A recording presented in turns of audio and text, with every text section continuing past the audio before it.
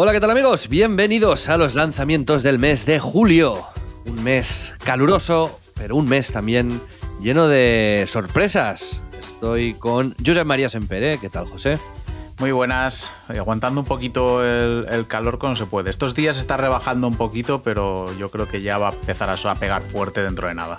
Este mes, amigos, como siempre, tenemos una lista que ahora os vamos a empezar a detallar, pero que os recomendamos que si miráis la descripción de este vídeo, veréis que están los juegos de la lista y un enlace. En este enlace a, nuestro partner Instant Gaming podéis conseguir descuentos 50, 60, 70% verificados, llevan muchos años con nosotros, o sea, es una recomendación que os hacemos cada mes, pero que eh, seguiremos haciendo, porque la verdad es que es eh, fenomenal.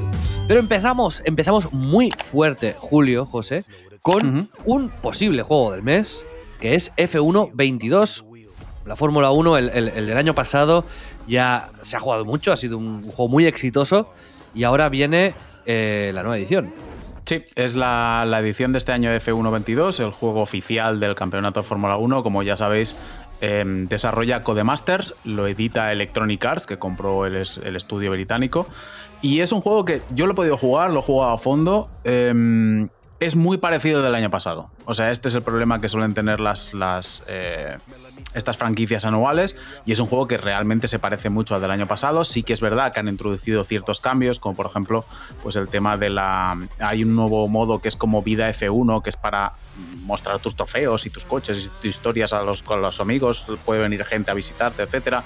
Hay em, eh, la posibilidad de conducir coches eh, de producción súper deportivos en circuitos y en unos retos que son los retos de, Pirelli, pero sí que es verdad que lo que es la parte de F1 y de simulación, pues es muy, muy parecida a la del año pasado. Entonces creo que eh, si lo tenéis el año pasado y no sois extremadamente fans de la Fórmula 1, creo que ya aguantáis con el juego que ya había. Si sois muy fans, pues evidentemente aquí tenéis pues, todos los datos actualizados, etcétera, ciertas novedades, os puede valer la pena. Pero tener en cuenta eso, que es un juego que se parece bastante al, al F1 2021. Pues gracias por el consejo. Yo supongo que los, lo que dices tú, ¿no? Los, más fans sí que van a, caer y que también veremos con este tipo de juegos las actualizaciones que vayan metiendo a lo largo del mm. año si acaban de diferenciarlo un poquito, un poquito más. El día 1 tenemos también un juego para Switch que se llama Game Deck, un juego con perspectiva cenital y una estética así como un poco Blade Runner. Sí, es una aventura cyberpunk, un juego de rol realmente, es un RPG, a pesar de que no tiene combates, que esto es lo divertido, y en el cual eh, controlamos a un detective en este mundo futurista, al cual tiene que ir recopilando pistas, eh, resolviendo ciertos misterios. Un juego peculiar que ya salió en, otras plataformas, lo analizamos en su momento, nos gustó bastante, tenéis el, el análisis en la página web, así que si no lo habéis jugado, pues jugarlo así en portátil, en Switch, es un título que se adapta bastante bien y que, ya os digo, que es peculiar y está bastante chulo. Y el día 5 debuta una nueva IP, José, que se llama Arcadegeddon hmm. y que es como una mezcla rara entre Splatoon y, otros géneros eh, un poco mm, ecléctico, podríamos decir, ¿no? Por lo que vemos en el trailer. Sí, es un shooter multijugador eh, cooperativo, perdón, con elementos de PvE y PvP. Es un título que lleva un año, de hecho, me parece, eh, prácticamente en, Early Access. Ahora sale la versión definitiva para varias plataformas. Y es un juego que, bueno, va a intentar hacerse un hueco dentro de un sector, la verdad, eh, con competencia bastante fuerte. Veremos si lo consigue. Pero como decías, es un título que parece recoger elementos de, diferentes juegos de éxito y que podemos ver pues eh, si consigue labrarse con, cierta comunidad que, garantice su, supervivencia a largo plazo. Y un deporte que, que nos trae mucha nostalgia de tiempos pasados, el tenis en videojuegos. Hemos tenido grandísimos juegos de tenis como eh, Top Spin o Virtua Tennis. Y ahora viene Match Point Tennis Championship el día 7, que por lo menos gráficamente Mm, no canta, que ya es, ya es mucho decir. Sí, no canta. cada cosa. la verdad es que no canta, tampoco no te creas que es muy para allá, la verdad es que tampoco no es visualmente una cosa impresionante, pero yo es un juego que probé hace, hace unos meses, em, lo que es en la simulación del deporte en sí, cuando estás jugando partidos, está bastante guay, está bastante bien, la verdad es que en su momento, cuando lo probé, no creo que llegase al nivel de un Top Spin 4, que para mí es el que, lo que es el cenit, digamos, dentro del género pero estaba bastante bien. Lo que pasa que sí que es verdad que todo lo demás, o sea, en plan rollo como la cantidad de modos de juego, la, cantidad de pistas, la, cantidad de jugadores, era un poquito limitado. Veremos a ver qué tal la, la versión definitiva, pero mm, lo que son los partidos parece que eso sí que está bastante bien, así que es un título que yo por lo menos como aficionado al tenis, eh, la verdad es que quiero seguir de cerca a ver, a ver qué tal ha salido. las animaciones son quizás lo que más flojea, pero veremos cuando salga a ver, a ver si es divertido, que al final es eh, lo que los mm. juegos de tenis funcionan o no funcionan. Eh, vamos el día 7 de julio con Clonoa Fantasy Reverie Series, que sale para todas las plataformas. Sí, es una remasterización de los dos primeros Clonoa. Eh, el primero salió para la primera PlayStation, el segundo salió para PlayStation 2.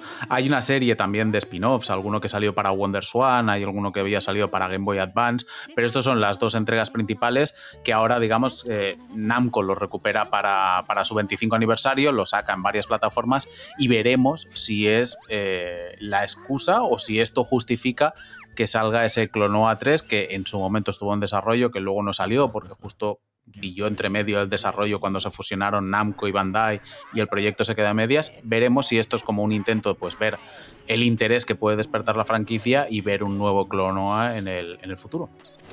El día 8 tenemos también Madison, un juego de miedo de estos que es como inequívocamente de miedo. O sea, no. ahí no, no te confunden. De los, que de los que a ti no te gustan, básicamente. Sí, este es de los que tú no, no vas a jugar. Es eh, un juego te, deja muy claro que aquí vienes a pasar miedo. Sí, sí, aquí vienes a pasar miedo. Es un, título que juega con el, con el gimmick de la cámara de fotos, no en el mismo estilo que los Project Zero, que en ellos, digamos, la cámara se utilizaba para atacar a los fantasmas. Aquí la cámara se utiliza para, los puzzles, porque es eminentemente un juego de, rompecabezas, aparte de un juego de terror. Es un juego que además, eh, si lo recordaréis, porque lo mencionamos el mes pasado, se, retrasó y ahora parece que por fin sí que se va, se va a lanzar. De hecho, creo que este mes no hay ningún otro juego de miedo, así que si queréis pasar un buen mal rato, igual este es el lanzamiento que más os llama la atención de este mes. No flipes tampoco, El día 12 pasamos a algo muy bonito y panorámico, porque Monument Valley, un juego pues, que, ha triunfado en dispositivos móviles, llega a PC con esta versión a pantalla completa. Sí, es uno de, los títulos eh, más premiados que ha habido para dispositivos móviles. Un juego que, de hecho, dos juegos que aprovechaban muy bien eh, las capacidades de estos dispositivos y ahora se adapta a, PC. Eh, lógicamente, el cambio en el ratio de aspecto, porque ahora, pues como dice el nombre, ahora es panorámico en vez de, tener los el, el, estilo este como vertical de, la pantalla móvil. Y es un juego que si no habéis jugado en dispositivos móviles, eh, jugarlo en PC porque la verdad es que aparte de ser visualmente muy bonito, tiene un, diseño la verdad que, muy chulo y muy elaborado, los puzzles están muy bien y justifica todos los premios que, ha recibido. Así que este, este puede ser uno de los tapados del, mes de junio realmente. Julio, perdón. Y el día siguiente, un juego inequívocamente japonés, Room Factory 5, un RPG eh, de los de toda la vida. Sí, un JRPG que mezcla, bueno, mezcla un poquito de todo, porque tiene partes de simulación de pueblo, este Town Simulation que dicen, tiene una parte como de, gestión de granjas y luego tiene combates de, RPG para una franquicia que era más, mucho más desconocida hace unos años, poco a poco se está labrando cierto nombre en Occidente y que había salido en otras plataformas y ahora llega, llega a PC.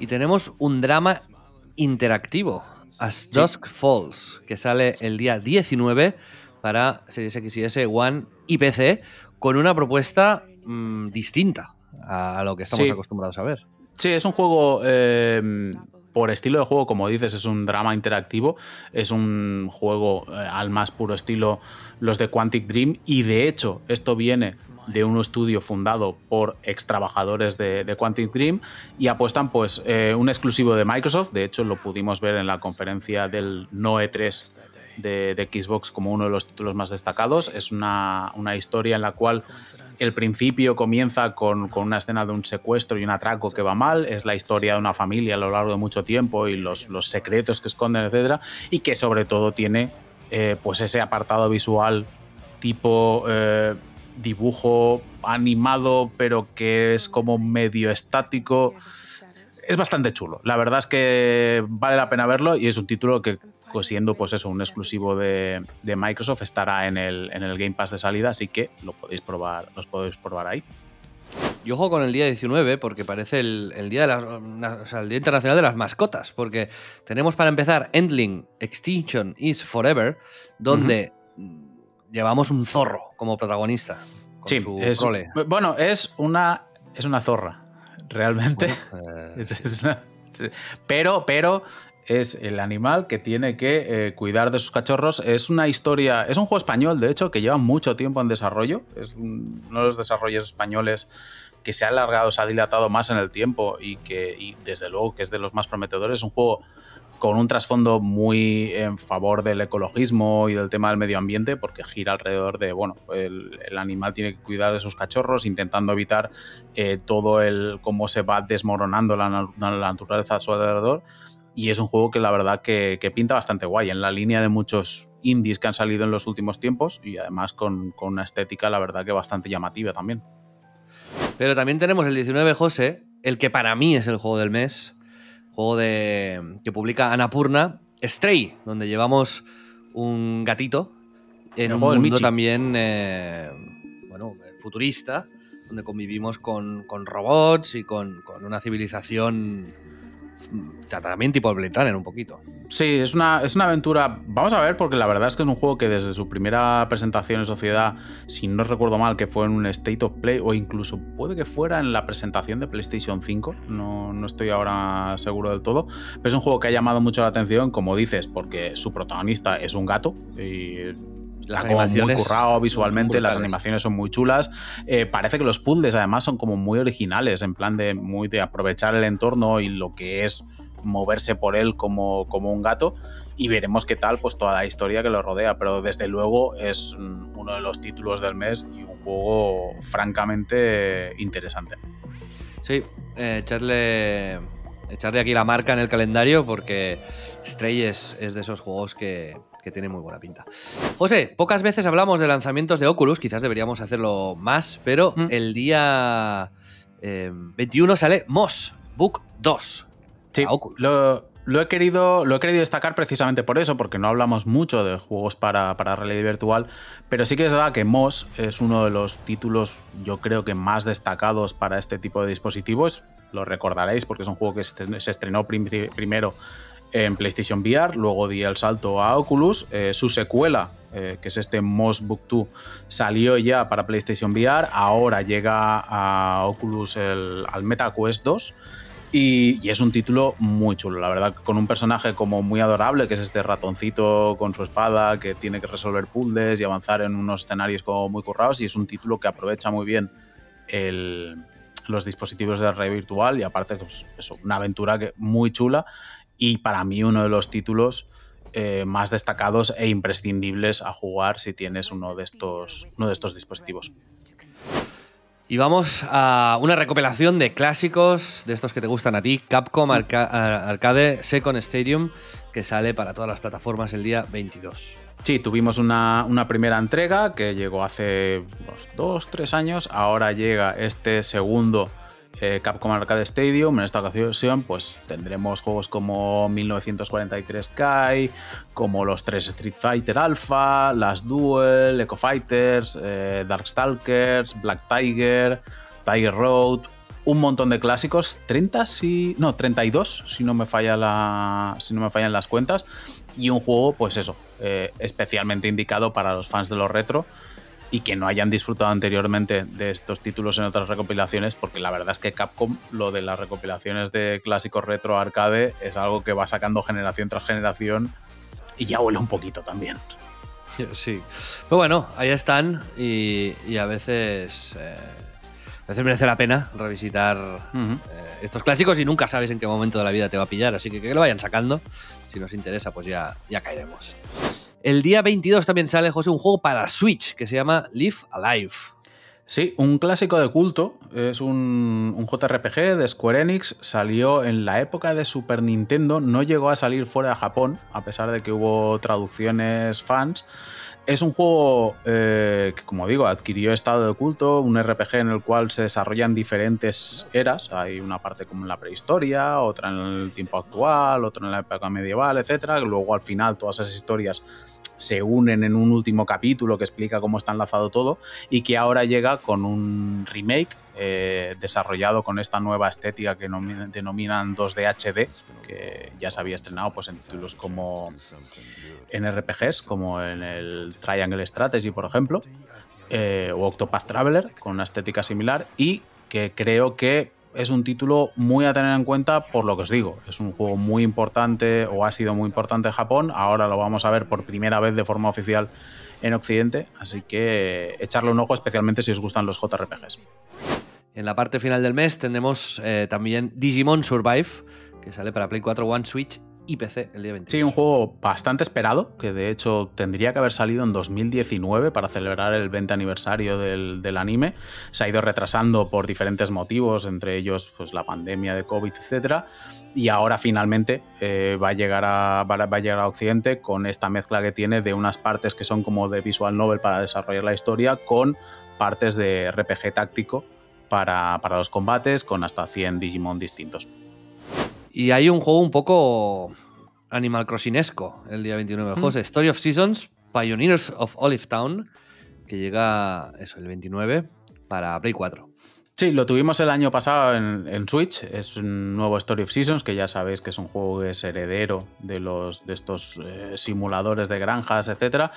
Y ahora llega a PlayStation 4. La verdad es que envuelto un poco de polémica, porque en Japón tiene como una especie de pase de expansión que se vende aparte eh, para desbloquear ciertas zonas de, la granja y tal, que en Japón eh, es gratuito, pero aquí lo van a cobrar a 15, pavos. Entonces esto tiene a la gente un poquito así así.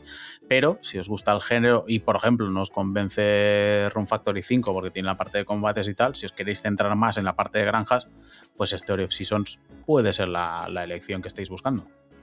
Y el día 29 también tenemos Xenoblade Chronicles 3, que llega a Switch.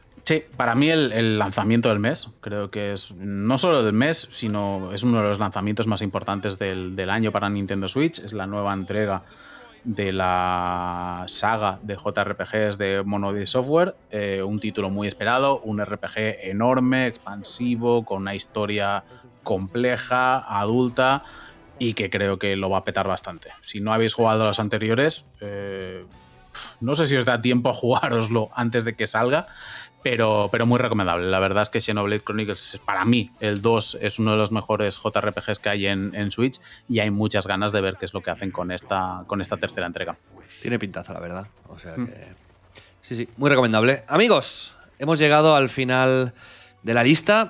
Como siempre os decimos, eh, recordadnos en los comentarios los juegos que para vosotros son los favoritos del mes y si nos hemos dejado algún lanzamiento olvidado, pues nos lo ponéis también por ahí para que podamos completar la lista. Em, sin más, eh, ¿alguna cosa que añadir, Sempere? ¿Algún juego que esperes eh, a lo largo del verano especialmente o alguno de, esto, de este mes que, que, que vayas a dedicarle muchas horas? Me gustaría sacar tiempo para jugar a Xenoblade 3 de hecho, pero, pero veremos si no me tengo que conformar con jugar algunos partidos al de tenis, porque, porque trabajo hay, trabajo hay. Y además ya sabéis que en verano esto no para, que vamos a tener Gamescom en, en agosto, etcétera, así que el trabajo no descansa. Amigos, nos vemos el mes que viene. Hasta la próxima. Adiós. Adiós. ¿Por qué ser miembro? Antes lo evitaba y ahora lo busco. La cantidad de gases que genera mi cuerpo ha descendido drásticamente desde que soy miembro. Mi expresión es más como de júbilo. Hacerme miembro es sin duda la quinta mejor decisión que tomé esta semana.